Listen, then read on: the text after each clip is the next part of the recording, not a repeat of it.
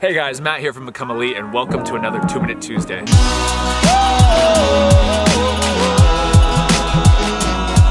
In case you're not aware, FG boots look like this and they're meant to play on normal grass surfaces that are not very muddy or slippery. And AG boots look like this and they're meant to play on turf fields. However, when you look at pros that play on artificial turf fields, they never wear these AG boots. They always wear the FG boots, the firm ground boots. So why do they wear these firm ground boots on artificial turf when there's a whole section, a whole category of these AG boots that are available to them? Well, let's put the time on the screen and let's get started. So back in 1965, a new type of artificial grass was patented and started to gain popularity after its use in the Houston Astrodome. Because of this, it started to be known as AstroTurf. AstroTurf was rough to the touch, unforgiving, and rock hard. This artificial turf was like playing on a rough carpet over cement. Playing on this type of turf with FG boots was a terrible idea. It was painful, it was super hard on your knees, ankles, and joints, and and it was very slippery. It was for this specific type of turf that AG boots or artificial ground boots were created. Then in the early 2000s, a new type of turf was created. This turf was called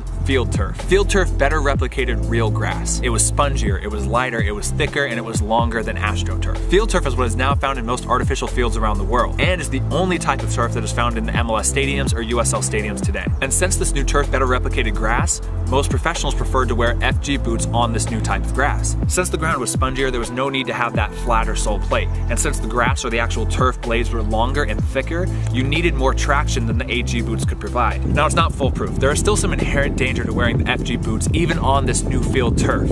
And although it's not as dangerous as on AstroTurf, it's still more dangerous to wear FG boots on artificial turf fields than it is on grass. This is because you can grip this turf too much and risk spraining an ankle or a knee during this time, which I've done before. However, this risk on field turf is just slightly more compared to real grass. And so when pros are deciding on which boots to wear, they'd rather take that slightly more risk but gain so much more traction with the FG boots than wearing the AG boots and having a little bit safer boot on their foot, losing all that traction and change the direction of your speed. They sacrifice that tiny bit of safety to gain so much more traction. And that's the exact reason why in my videos, my team training sessions, my individual training sessions, and my games, I wear firm ground sole plate boots on artificial turf fields. So I hope you guys enjoyed this video. If you did, hit the like button, subscribe, and I'll see you on the next one. How to do on time.